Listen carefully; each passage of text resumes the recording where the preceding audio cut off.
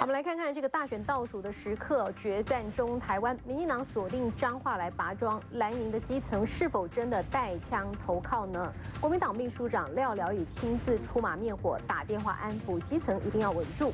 那么针对蓝营基层是否松动，该停小英，蔡英文低调表示，这是单纯的选举拜会，请大家不要想太多。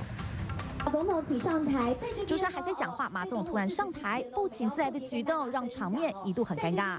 总统被晾在台上好几度斜眼看主持人，终于等到了致辞时间，出席老旧工业区更新发表会。总统当然主打的是政绩牌。三年多来，增加了一兆多的债务，可是这个钱不是拿来花掉、烧掉的，我们拿来投资基础建设，我们创造的产值是我们投资的十七倍。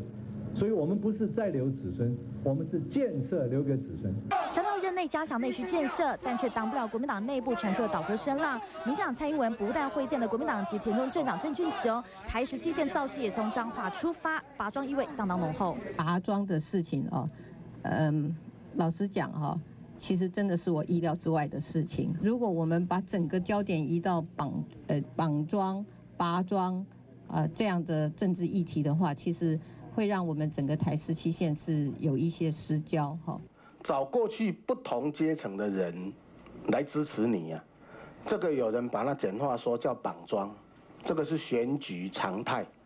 请大家不要大惊小怪，不想造成当事人困扰，蔡英文帮忙缓颊。不过国民党可没有这么放心了，民想逼近让蓝营措手不及。国民党秘书长廖了以还打电话给基层安抚，固守蓝天。民进党当然是很会选举，很会炒作嘛哈，稍微人家接近接近他一下，那礼貌上来那个招呼他一下，就大事当当。那。把人家那个来招待他，把人家公布出来，很不厚道。决战彰化，民党攻城略地，国民党紧跟在后，急着灭火，就怕蓝操查绿旗，坏了选情。三立新闻林文富、蔡继云台北报道。台湾到底有没有可能运用电磁波来攻击人？